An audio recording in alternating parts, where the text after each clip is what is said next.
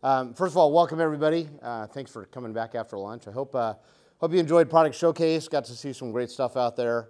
Um, it's always fun for us to, to get out there and get those first impressions and whatnot. So, so PGH coming out today for this particular session. Um, I'm going to preface this by we're talking about fusion training more with an emphasis on the polypropylene market, but if you also work in polyethylene at all, a lot of these same concepts apply.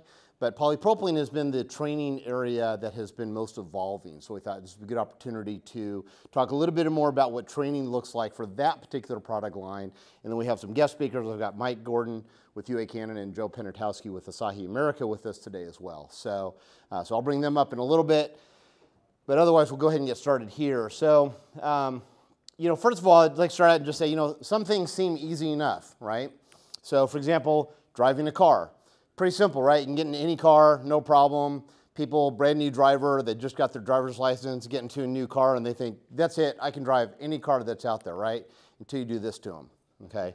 Now, all of a sudden, something's changed and they're frozen. In fact, I've heard that this is the best millennial anti-theft device that you can put on your vehicle now, right? You know, so, um, so anyhow, um, or in another area, um, running. Running is real easy, right? It's something that you know most of us can do, unless you're you know unless you can't. But we all know though that if you want to run a marathon, that's a very different deal. And now all of a sudden it takes training. You can't just go out and start and say, "Hey, I'm good to go. I'm off to run a marathon." Can try, but not recommended. Sometimes people are doing things and they think they're doing it right. Great, got a bunch of people in here, good form. Everyone's, you know, they got the barbell out or the, the kettlebell out, everything good to go. But the reality is sometimes, even though we think we're doing things the right way, we might actually look a little bit more like these guys. Okay, you know, so we, we think we're good, but we're not. And again, improper training, they're just not following the way it should be, and it could be dangerous if not just goofy looking. All right. So without proper training, this applies to both polyethylene and polypropylene. A couple of things will happen. So the tendency is to one, blame the material. Yep, something went wrong, told you that, that pipe isn't any good, right? Or they're gonna blame the equipment. Yeah, I tried this new newfangled fusion equipment, didn't fuse right, pipe's bad, material's bad, you know, whatever. Or they're gonna blame the process. I don't, DVS, DIVIS, I don't know what that's all about. You know, there's something wrong, it's too hot, not enough temperature, too complicated, whatever the case may be. So what happens is if somebody's new to polypropylene, then there might be a tendency for them to return to the old material. Okay, so oh, I've been doing copper for a long time, steel, whatever, PVC, whatever. I'll just go back to that stuff because I know it works, right? I know it leaks, that doesn't matter, but it works, right? And in some cases, and we see this in the market, and I know a lot of you do as well, they might even be looking for a reason to not use polypropylene. So if they're coming into it, it's brand new, they're like, ah, I don't know about that stuff. And then the first thing that goes wrong, they're gonna, yep, see, I told you so. I've been doing this 20 years, I know better, okay? So these are things that we are always mindful of. We hear it, we know you all hear it. So common practice though, when it comes to, when it comes to training, is that there's a heavy focus currently on pipe products, product offerings, properties, systems design. Okay, all good things, all very important to any pipeline installation. And then the students will receive a pipe qualification. So usually this is manufacturer training, whoever the pipe manufacturer is. You learn all about the pipe, you learn great information, you have the pipe qualification so that you're good to install that pipe based on their credentials, their criteria, meets the warranty requirements, all of that, okay? The downside is, or the other challenge though, is that when it comes to the tooling and the process, it's often a more high level or generic focus on that. In fact, we've, we've looked, I mean, we, we talk to people, we see other training material, nothing wrong with that, but it's about a 20% of that is devoted to the equipment and the fusion process. So again, it makes sense. If I'm a pipe manufacturer, putting out training, I know my product well, so I'm going to focus a lot on that, and then it's a little harder, a little bit more challenging to get in on the equipment and the process, okay? The challenge there is that then there's no tooling qualification. So I'm sending people out in the field saying, you know all about the pipe, but we've shown you how to do the tools. We believe you know how to do the tool pricing, but we don't necessarily qualify you in the same way that we would on the pipe. And then we miss an opportunity to teach tooling advantages and productivity gains. Okay, so a lot of what McElroy University talks about in our classes is as much about the mechanics of um, how to use the machines, but also how to use them efficiently and how to make sure that when you're on the job site, you get the job done the right way the first time in the most efficient manner. So a lot of times the tra training is just currently structured to where we're missing some opportunity. We know, however, that there's some challenges with delivering this training. And in often cases, it's that trainers have other responsibilities. I had an exact conversation about this just out at Product Showcase where people are busy, they're doing other things. They might be in sales or customer service or field support. So they're not training all the time, every single day. That's not their, where their 100% headset is. So we get that. What that results in is often an inconsistency of training delivery well, you know, today I'm going to have you train, and, and then you're out on a job site somewhere, so you may not train for another six months. So I'm going to pull this guy in, he's going to train. Everyone's got their own way of doing it. Not that any of it's bad, it's just not the same. It's not repeatable over and over and over again in the same way. Another thing that we see is it's often provided at the expense of the training organization. So McElroy does not do this. We typically charge for training. Not, you know, well, occasionally somebody gets a free class, right? But as a general rule, everything at least has a price tag attached to it. But in polypropylene, there's been this tendency to, in order to sell the pipe, we have to give away the training, okay? So maybe once upon a time, yes, but we see more and more where people are like, yeah, we, we get it. There's a charge for that. There's a cost for that. Maybe you build it into your quote or whatever, but you should get uh, reimbursed for that. The problem with not charging is it potentially lowers the end user's perceived value. If it didn't cost me anything yet, it's probably not that high value, so I'll just go in and do my thing. That's it. Okay. And this is true not only for training, but you know for a lot of activities. If I charge you, you know, ten dollars to buy a ticket for a show or free, you're more likely to go if you spent the ten bucks. Okay. So then the other aspect that we see out in the field is what, what I'm terming as knowledge loss. So what do I mean by knowledge loss? Well, it could be that people forget, but oftentimes on these job sites, we'll have job site worker turnover. So I went out to the job site, I trained a crew of 10, and then four days later, um, that crew's gone and they brought in another crew. Meanwhile, my trainer, who is onto another sales call, can't get back and now all of a sudden I've got a new people out there. I've lost that knowledge that I trained. I've got a new group that doesn't necessarily know what they're doing. Okay, and then on top of that, the way things are structured is there's minimal or no refresher or no on-the-job resources. Everything is tied to I'll show up on the job, I'll train you, I'll walk away, you're good to go, and then that's it. So, what does that result in? Well, it may look something kind of like this. So I'm really strong on one side. I know all about the pipe. I know about the properties. I know how to install it. I know how, how many feet I need to hang my hangers apart, but I'm a little weak on other aspects, okay? What we all recognize, though, is that in order for any given job to be successful, you've got to have a well-rounded training effort. So if I'm going to do the American Ninja or Ninja Warrior, if I want to run this obstacle course, I can't just work on, you know, arm pull-ups. I've got to work on legs and abs and CrossFit. I've got, I've got to have the whole package in order to be able to successfully run that course and hit the time that I want, okay? So that's kind of the premise of what we're talking about here. So let's talk about what a successful training program looks like. So it starts with people. You've heard that theme a couple of times now throughout Infusion. We talk about people, people, people, people, okay? For Chip mentioned it and some others. So I have the honor and the pleasure of managing a team of six. Um, this, this little dot here um, is an open position that we actually just filled on Monday. Okay, so that's what it was, it was bubble. But this group of six are full-time, 100% focused on McElroy University. Whether it's content development, delivery, training support, whatever it is, we eat, sleep, breathe training. It's all we do, okay? Now, it doesn't stop there within the McElroy system. And if you were at Jesse Smith's session, you heard a little bit more about some of these guys earlier. But then we extend to what I call kind of this, this next level of support. So whether it's you know, sales support, customer service, trainers, all three of these guys can train. They can be in the classroom, but they might also be on there helping somebody get a course set up, or they need to schedule, or they need equipment or tooling, whatever it is. And it really doesn't stop here, because beyond this, then all of our, you know, Jeff Turner can train and Brett Stone can train and, you know, I can go in the classroom if I need to and, you know, Francisco, we've got this continuing uh, effort within McElroy. So the point is, within McElroy manufacturing, training is a big deal. Uh, you know, part of why you saw Chip talk about uh, our new training facility the way that he did. We put a lot of time and effort into this, okay?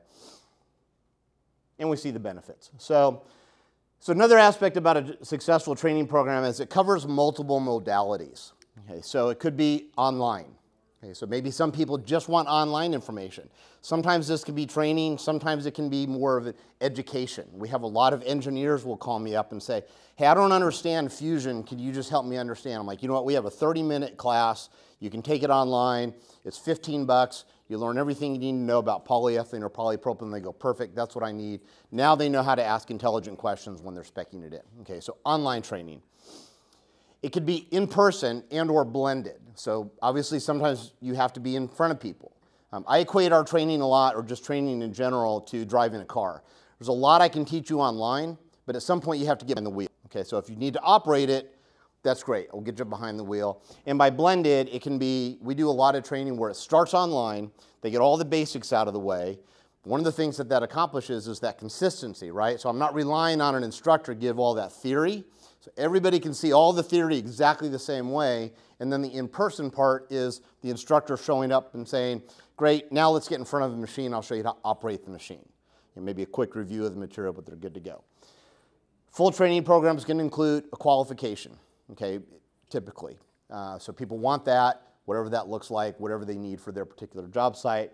And then you'll have some sort of continuing education things change, standards change, equipment gets updated, processes change, whatever it is, it's part of the program. So right now, a little sales pitch is McElroy University, this is, this is what we're doing. We have online, we have the blended, we offer qualifications, certifications, and we have the continuing ed. So the other aspect, of course, you gotta have the content, right? So that's, that's a biggie. So what we're looking at here is just, I think this is most of them, it's not all of them because I ran out of room. These are just the polypropylene training courses that we offer. And this is a combination of online, in-person, some of them are continuing ed. Uh, so I'll give you that intro to PP pipe and pipe fusion lives as both a continuing edge course. If somebody says, I just need to understand the process, and then it's part of a full training package. And then, and then I didn't even have the listing here because uh, there's too many of them. We also have courses on how to maintain your machines, how to keep them going. So if you're selling machines, you've got customers out there, you know, or worse yet, if you're renting them, you know, how many do you get back God, really, how, how did that happen? You know, so, so all of this is stuff that McElroy already has in our library. We've already been using. It's been out there and whatnot. So all good stuff there. Um, the training programs need to provide a proper depth education. So this was intentional to choose the word proper depth. A lot of times people say in-depth, right? Oh, in-depth training, that's what we want. You don't always want in-depth training. Sometimes you do, and if that's necessary, we have courses for that. So like this course is actually more of an in-depth course teaching the theory about to somebody about how to actually physically operate the machine. So we'll talk about the print line on the pipe. We talk about the machine components. We get into detail about the hydraulic manifold and the switching, and we, this is basically actually a little simulator. They can spin the dials and switch the knobs and whatnot. Other times, as I mentioned, you just need this general broad overview. We have that also. So it's like, hey, maybe I just need to understand the process a little bit. Or, you know, I want to watch a video about it, and we're going to go ahead and throw a quiz in there just to make sure you're paying attention. Okay? So all of that is currently out there and, existing. Training programs also going to address delivery, and tracking. And I know this one's often a challenge as to, well, how do we get the training out there? And then how do we know who is trained and when they're trained? So you'd want something like a learning management system. Um, this is ours. Uh, that's going to have a course. I open up the course. In this case, each one of those blue links, if you can see it, is a lesson, so students can easily go through, watch the lessons. If they need to stop in the middle, so like this one tells you're 16% done. So I can watch, I got 15 minutes, I'll watch what I can, I'll go away, come back and finish up what I can. And then moving forward, it holds a transcript for them. So remember that slide I talked about, about the you know, on the job or future resources? Hey, I took this class three months ago. I really can't remember that section on the data logger. Well, guess what? They can go online, watch it again, get reacclimated before they get out, okay? No extra charge for that, it's just part of the package. All right, then the last piece is testing, validation, credentialing, okay, all of this. So all of this together is going to make up a successful program, a filtration program. We know a lot of people out in the industry are already doing this, okay? So it's not, it's not like up here saying that McElroy is the only one, but these are elements that, that we've, as we've focused in on it for so long, we know these are your key points. So another big aspect though is finding the right partner. So this is true for anything. So let's say, for example, I, you know, I, I probably need to get to the gym and, you know, who do I want as my partner out in the gym? Arnold Schwarzenegger? Probably not a bad option, okay? You know, you know, I mean, he's kind of getting up there himself, but he, he still knows stuff, right? So yeah, I'd much be better off with Arnold as my partner than say uh, Bob the trainer. Okay, I don't, I don't know that Bob's going to get me where I want to go, all right? Maybe, but a little risky. Or financial decisions, Warren Buffett. Probably a good choice. Warren knows a couple of things about money, right? Not so sure about this guy. You may not recognize his face, but you recognize his name. It's Charles Ponzi. Okay, so probably not somebody else I want to invest money with, right? So the right partner matters just as much as anything else. Partnerships can be really, really powerful, and oftentimes they're maybe a little unexpected. So, for example, Amazon and Kohl's. Who'd, who'd ever guess that one, right? You, normally you think that they're competing. You've got brick and mortar retailer versus online retailer. But they have found a way to work together to build on each other's strengths so that they are both more successful. Another example is one that this is not entirely new because we know DoorDash, Grubhub, and all these do, but this was one that Starbucks recently announced an exclusive deal with DoorDash to deliver Starbucks products. So again, Starbucks is going, you know what? They're big enough, they could have probably created their own delivery service. You know, pizza places hire people, right, do it. They're, no, we're gonna partner up with somebody that already knows how to take orders and get them out to people, and we'll let them be the ones to deliver our products. We'll make coffee and tea, you guys focus on delivery, okay? So, partnering with McElroy University can be a big deal. So, and that's part of the ask and the encouragement and the offer to you all is that McElroy University plus you in whatever capacity you're in, whether you're a trainer, whether you're a pipe manufacturer or a distributor or channel partner, whatever it is, there's opportunity here. And the end result can be really, truly, fully qualified operators. So they're qualified on the pipe, they're qualified the equipment, and they're qualified on the process. More productive job sites because now um, they're going to know they're going to know how to use the, the equipment properly. And a more productive job site is going to benefit all of us. Uh, it's a protection of their investment. So whether it's just that they you know, knew how to use the machine right and didn't break off a jaw, or they knew how to maintain it properly so that you know, they're not having to call you for stupid stuff or they don't break something or whatever the case may be. Uh, greater adoption. When people know what they're doing and it's easy and it's fun, then they go, yeah, that was no big deal. I got good training, I'm in, all good. Okay? Um, and then oftentimes these people become industry advocates.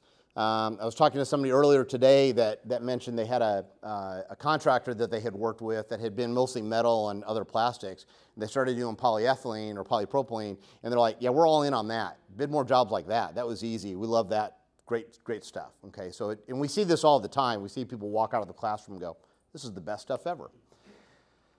In the end, it's a mutual success for all of us. Okay, so so this is something that we're always interested in partnering with people and really, I, I kind of wanted to breeze through that fairly quickly because I want to talk to a couple of the guests that we have. So we've had some work done in the years past with the UA Canada and with Asahi America. So I'm going to bring them up here in just a minute and, and ask them questions that were no in way pre-planned or predetermined. Uh, so, um, so we'll start. With, yeah. So we'll start with the United Association. So a little history. Uh, they were founded in 89, so 134 years old. Okay. Uh, they represent, they're a trade union representing a lot of different trades. So metal trades, welders. Uh, in fact, uh, see, he's not in the room, so I can talk about him. I won't say him by name, but their metal guy is here. You know, so, uh, so uh, steam fitters, quality control techs, and really the area that we are most engaged with is with the plumbers and the HVAC, uh, HVACR team. Okay, so the UA in total has 370,000 members. That's USA and Canada. There's an affiliation with two other unions. Where is it? Ireland and Australia. Australia. Uh, so there, there's an affiliation there as well.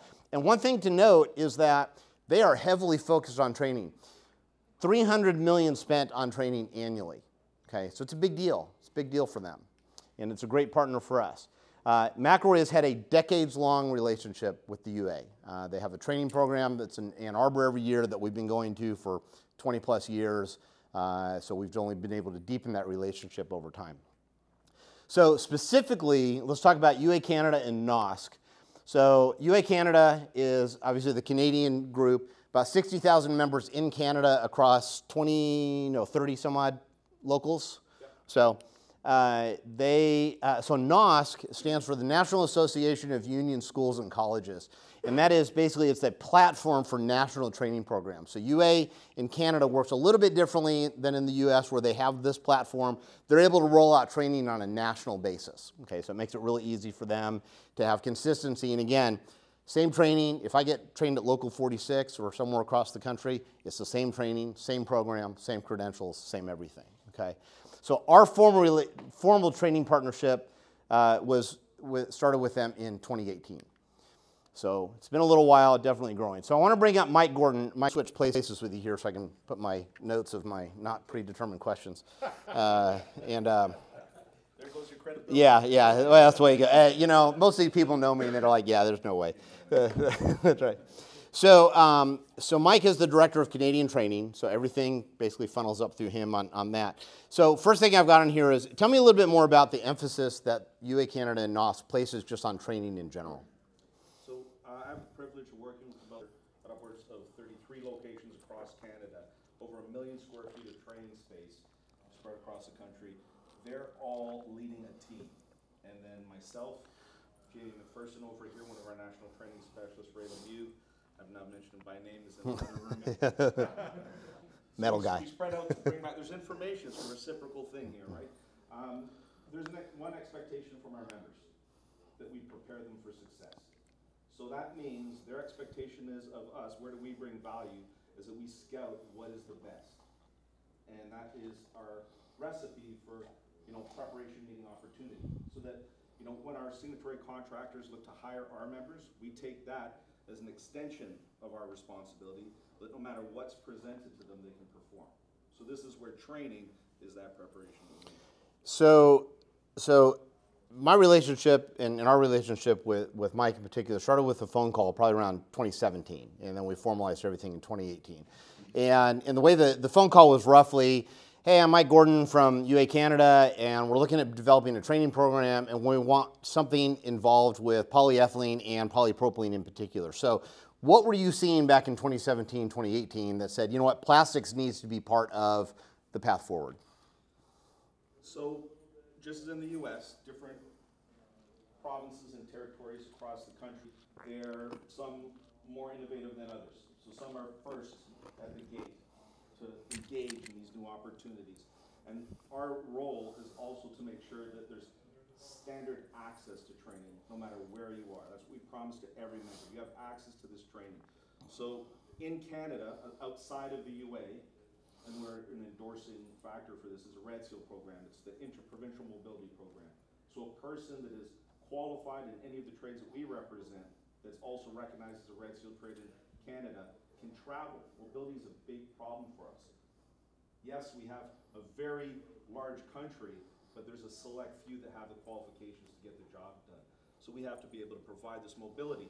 The Red Seal program is a collaboration between all provinces and territories to identify the scope of every trade as agreed upon by every province and territory. So it's a big responsibility. Well, it's a lot to train because we have massive scopes, every one of our trades. And fusion is part of the plumbing scope, part of the steam fitter pipe fitter scope, part of the welder scope, part of the refrigeration mechanic scope. It spreads broadly. And, and actually for the fuels, for the natural gas and propane trades. So when we're looking at this, we needed to say, we need a little bit more emphasis because one of the things that we found is a lack of standardization. Though our trades are heavily standardized, the adoption of standardized, familiar terms and processes, to your point, were not standardized. Access to equipment to do this training, not standardized. Access to the piping, special shout out to Aquatherm for engaging, being part of this new relationship as an extension of McElroy, that we now have access to this pipe, that every member in Canada, we believe in something, you know, supervision in a job site. One of the things that we look to do is remove the excuses. There's no excuse for any of our members to not be prepared for the opportunities to come to them. And we identified fusion as one of the key elements that we had to address. Perfect. So, so one of the things too that is noteworthy about with the UA is uh, we effectively developed a custom training program for them. So it was based on the foundation of what we were already doing, but we have that flexibility to meet their needs. So, you know, much like we really need, so we're able to put together a program that works just for them. And it's a blended learning program. So it starts with the online, and then they finish up with the hands-on at the local. So it gives them a lot of flexibility to present however they want. So the online stuff's great. We always get good feedback. But one of the things that I like about UA members in, to always be mindful of is these are the people that are actually executing the jobs, right? They, you know, the material's been spec'd in, the job's out there, they're good to go. Now they're, it's their responsibility to make the installation. So how important is that hands-on aspect of, of just focusing on tools? Because we're not talking a whole lot about pipe because that's often, it's there. That's not the emphasis, it's that hands-on training, that skill set. So how does that fit into what you guys are trying to do? Well, let me just start by saying every member has skin in the game. What I mean by that is when they have the, the broad scope of their trade, including fusion, the expectation and their, their name, their integrity is everything to them. So when we're looking at what to do, we looked at the investment and, and you're putting together the modules for us. We invested what upwards of three million on the mm-hmm. uh, getting equipment. So we've got equipment distributed to every loca- location across Canada. So to that extent, what could impact their reputation and the UA's rep- uh, um, reputation as an extension of that? A failure on a joint. That is everything.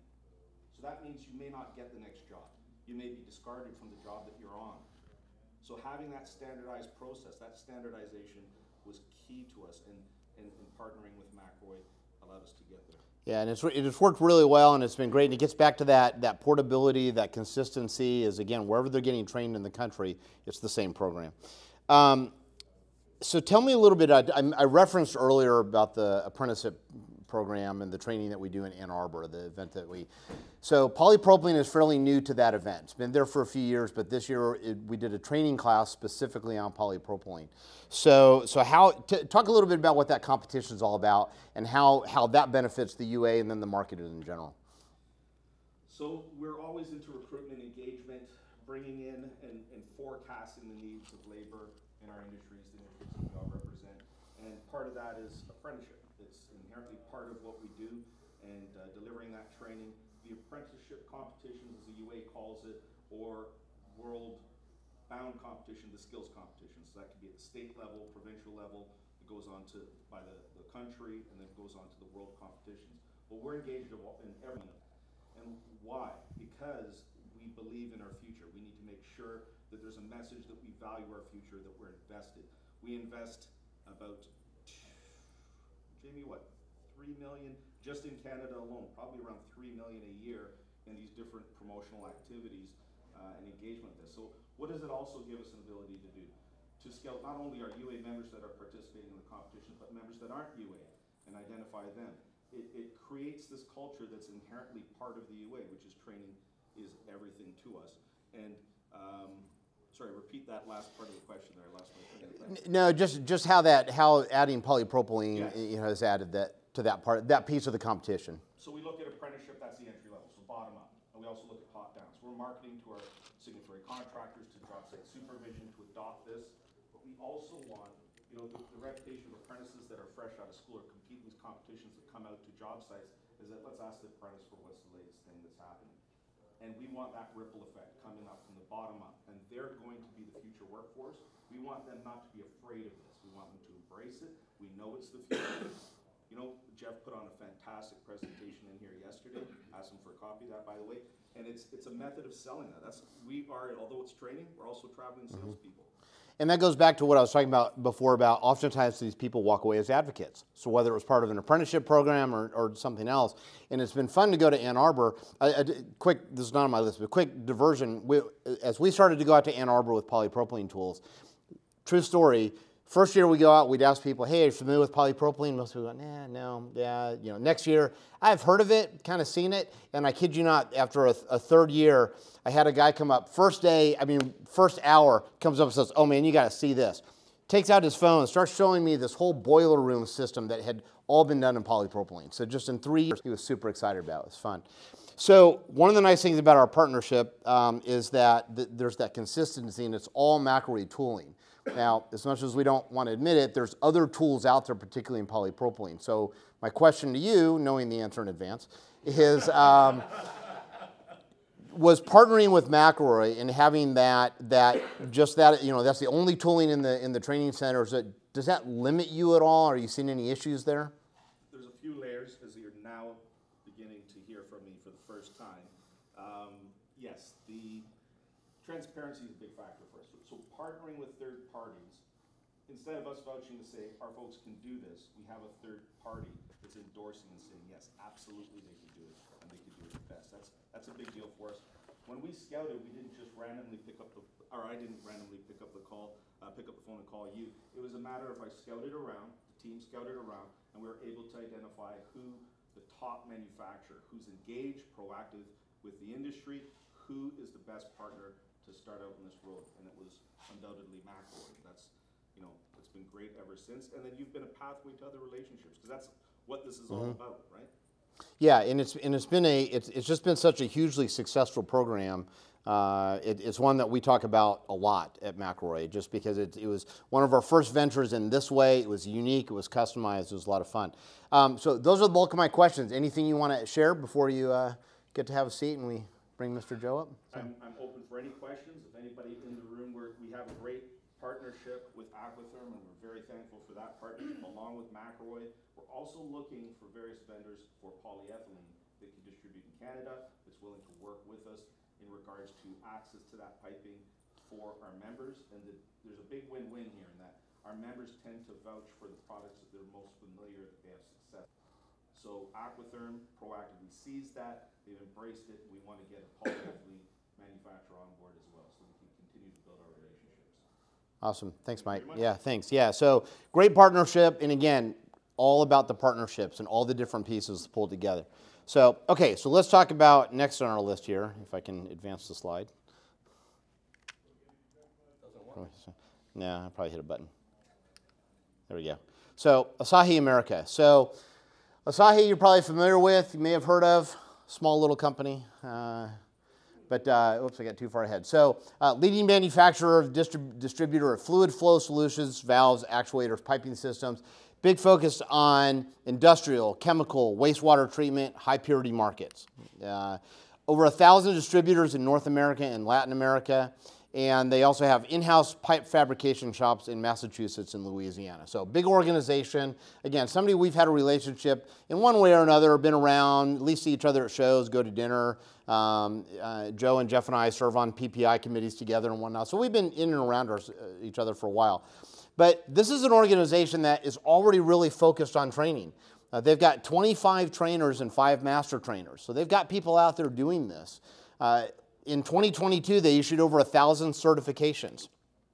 And so far in 2023, they're at 1,200. So training is definitely growing. Uh, so you may bring the question up and say, like, well, then what do they need McElroy for? And that's why Joe Penatowski is here, because he's going to tell us. So.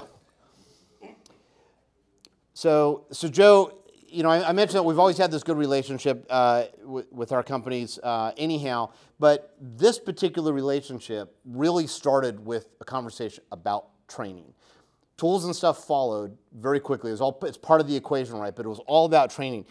You already own a lot of training. So, what changed in your world where it made sense to say, you know what, we need to get McElroy involved and bring them on board? All right. So we've been selling and welding pipe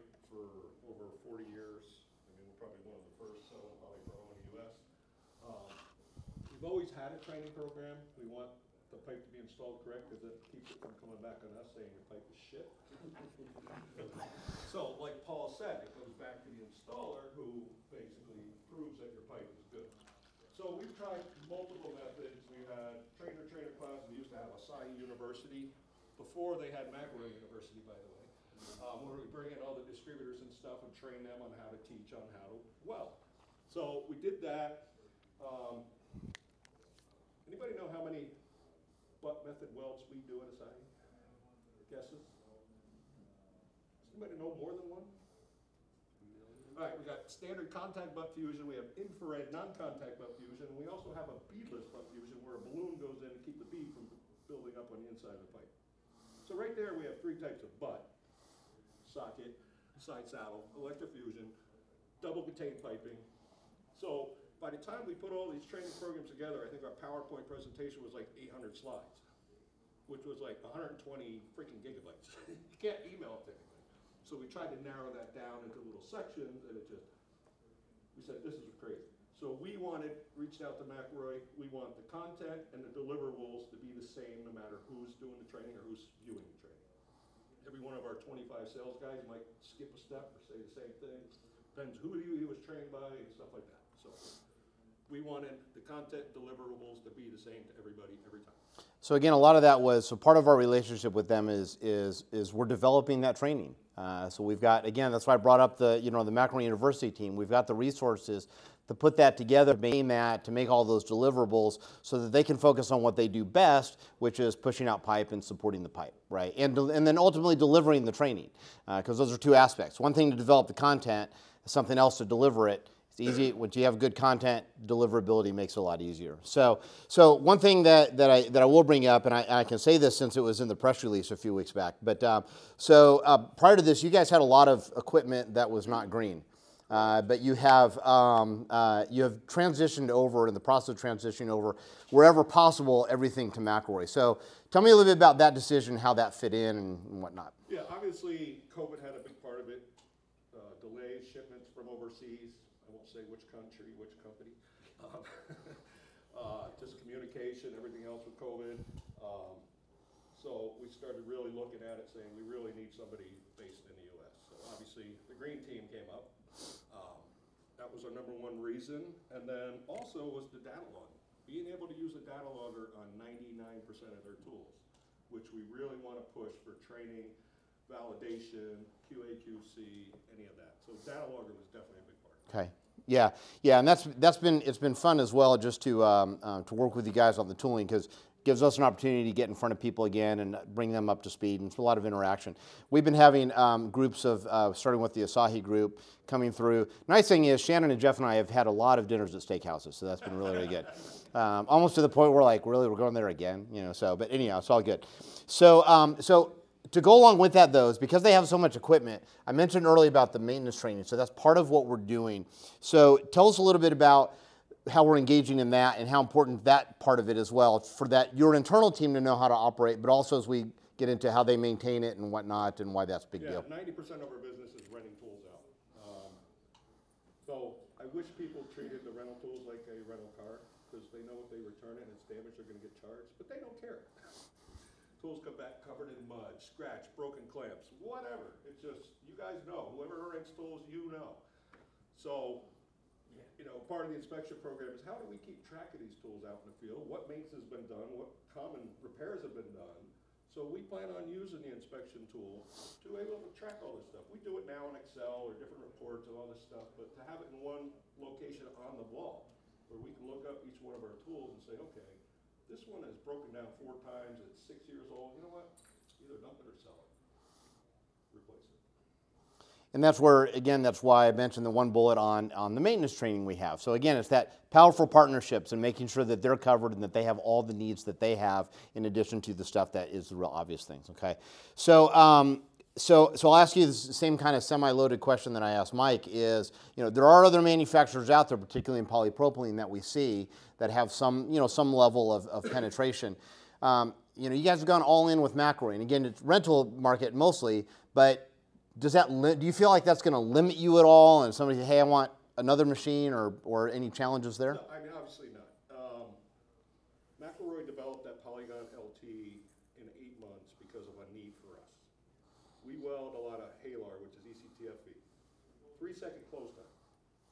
That tool was designed to hit that three second close time in half through two inch. It's amazing. And we used to have a special heater mirror for it. Yeah, it's a, they developed that tool to help us out for that need. We have other needs, shop tools, fitting and fabrication, stuff like that, which is on Shannon's list and Jeff's list. but yeah, mainly, you know, the field tools you guys offer now, like the quick got customers saying they're great tools. How about IPS inserts for it? So that's on the list. You know, we're going to keep going. So yeah. Yeah. And you bring up a good point too, because just like just like so many of you, if you've been around McElroy a long time, uh, all nice thing about our channel partners is nobody is shy about telling us what we're not doing right or what else they need. Okay, um, which is good. We want to hear that. But that being said, it's the same for training. Okay, so I won't go into details, but Mike called me, uh, or uh, Joe called me a couple weeks ago and said, "Hey, um, when we're done with this other thing, here's three more that we need." It wasn't even on our list before. We kind of had talked about it once before, but it was like, "Here's the priority." So even on the training aspect, if there's training modules that you need or courses that you need or whatever, again, we've got the resources and the tools to partner up with you to do that. So. I mentioned those other bu- metal widths, infrared, non-contact, beadless. McElroy don't make, doesn't make those tools. But they're helping us develop the con, the training program with our information. We ship a tool down here, they take pictures, make videos, so they'll help us out somebody else's tool. But it's gonna help us.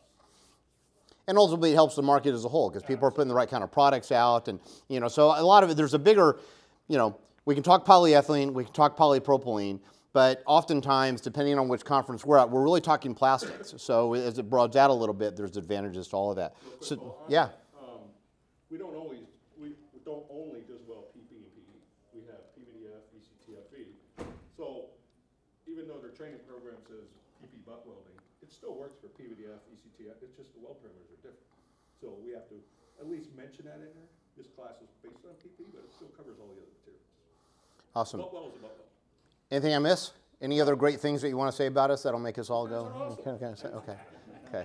I'm very enthusiastic about this whole thing. All right. Thanks, Joe. That's, that's all. That's all I've got. And um, um, yeah, so thanks for that. I appreciate that. So so next steps.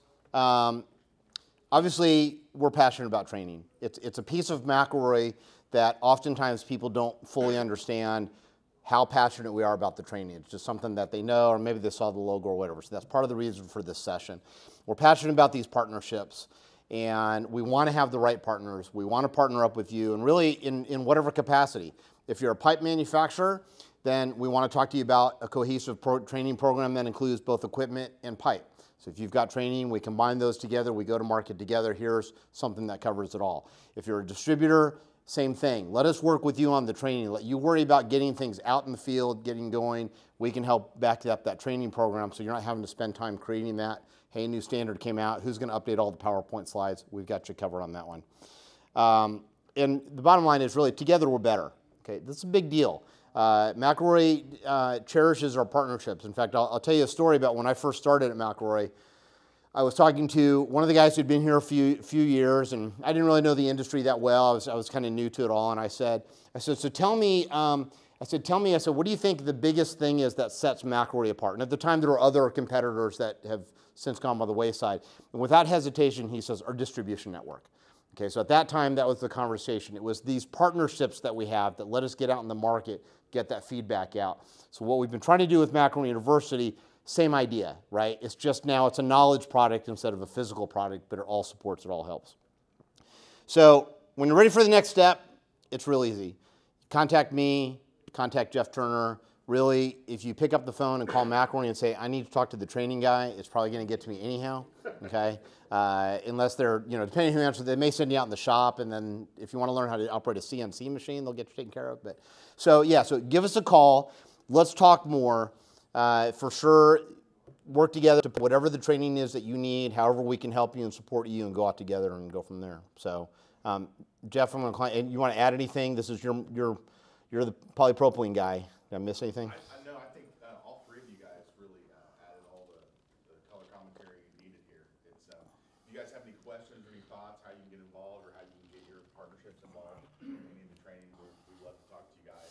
And, uh, the, the program and, and everything that Paul and his team has built is very easy for us to include additional partnerships into that, so there's consistency across the board. So, uh, how they've rolled this out and, uh, and the partnerships that we've put through this is, it's shown a lot of success. And we can, we can help make training much easier and better across the board for folks, especially from the, uh, qualified operator standpoint. So we're excited about it. Yeah, awesome, thanks. And I and, and I'll just end with, oftentimes when somebody comes to me with questions about training, um, my first question is, what do you need? Okay, so we we start there, and then we'll say, what do you need? Okay, here's what we've got. Where does that fit the need? Where do we need to tweak it? Sometimes we can get it done the right, that you know, pretty quick. Sometimes we're not. Um, so by all means, don't just because you saw something this. Well, I didn't see a class up there for this. That's that's not the conversation. What do you need? Let's talk about getting you there. Okay, so That's all I got. Any questions? Comments? I'm here all week, so. So when you guys train people, um, you have your combination of in-person and, and online training.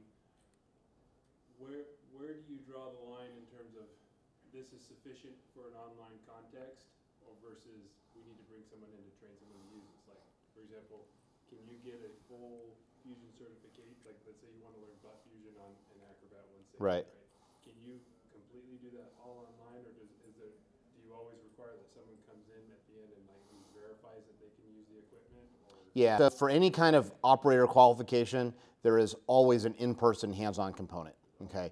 So the only exception is on the polyethylene side, we have an inspector course uh, that you can complete online. Uh, we're developing one for polypropylene with the idea there that they're not actually operating. They, they need to understand concepts, procedures, stuff like that, right? But in order to become a qualified operator, you have to get in front of somebody and, and actually fuse pipe and go from there. And that's that's how you check box. Yeah. My plan, Scott, is, um, to have people go through the online course. Yeah. And then either have one of our sales guys who's certified to inspect the welds, or if the customer hooks up a data logger, takes pictures of the welds, I can validate it from my office. And I'm okay with that. If they've gone through the training, I can look at the welds, see the graph, I'm okay with that. So we can either have an in-person inspection, wa- actually physically watch them do a weld, or I can do it remotely with the data logger. Yeah, and, and again, that goes. Some of that goes back to custom. In fact, I'll uh, uh, saw Ryan. We did we did a test, a trial back a few years. It was, I think you were involved in that. Was uh, we were trying with the Hololens in Guam actually. So we were experimenting then during COVID. Hey, can we do that and whatnot? You know, so all that stuff's on the table. But normally the process is online concepts, hands-on. Go from there. So, questions, Clint? What about refresher courses? I mean, like, you probably do repeat this or have a refresher every three years or something like that, right? What is a refresher program? So in the polyethylene world, there's a standard. It's ASTM F3190 that dictates what that looks like. We follow the same for polypropylene because there's not anything overriding. Basically, what a requalification looks like is a qualification is good for two years, and then after two years, within three months of their time frame, they have to show that they've been fusing pipe, uh, that they've been doing it for a while. They take some online material, just kind of refresh concepts. Maybe there's something updated, and they get back in front of an instructor to take the written test, the hands-on test. If they pass the both, then they're qualified again for another two years. You know, so and they go on from there. So, but, uh, Written test is online. yeah, yeah. By written, yeah, written. It's it's the it's the it's an online test uh, unless they have no connectivity, and then it's but that's what we call the written test. It's a true and false, multiple choice, like that. Yeah. A couple of questions for, for the international market, uh, these contents are in Spanish, for example? Uh, some. so, so we have a few things in Spanish, not nearly as much as I would like to. Um, it is on our agenda to do that. Uh, what I'll tell you on that is we have we have changed the way that we create the content. Uh, it used to be a lot of talking heads and person that was a little harder. So we've changed the structure so that we can easily backfill with uh, with Spanish language voiceovers and whatnot. So, and again, anytime we've created something custom, if that's where we need to start, we'll start there and go from there. We've got some Spanish speakers in, in country, so we can we can do that. So. Yeah, I remember that years ago we translated everything to Spanish to make the university outside the US in Spanish. Yep, yeah. So yeah, so so ideally, in an ideal world, we'd have everything that we do in both Spanish and English, and we've had other requests for other languages. Uh, quite honestly, that's as much just a time factor as anything else. So.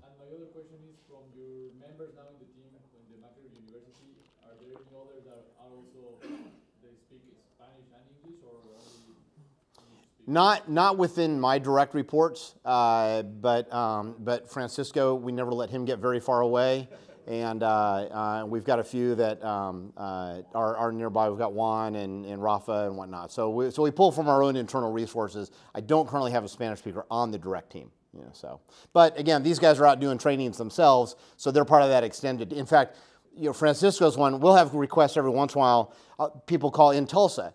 Hey, we're doing a class. Um, I have two people that only speak Spanish, can, so I'll call Francisco. Hey, can you be here? And we're, you know, he's teaching them in Spanish while we're teaching in English, and then they all go together. So we accommodate however we can. So eventually, we'll have hopefully everything in multiple languages.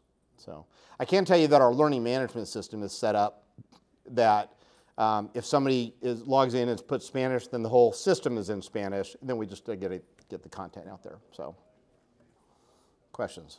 And one more. So, all right, that's all I've got for you. I'll be around, you know, tonight. Um, I'm, I'm here, you know, I'm here all week. Uh, I won't be here, won't be here next week, but feel free to shoot me an email. And uh, if you have any questions, uh, otherwise, yeah, reach out to us and, and uh, yeah, let's see what we can do. So, awesome. Thanks, everyone. Appreciate it. Thank you, guys. Appreciate your help.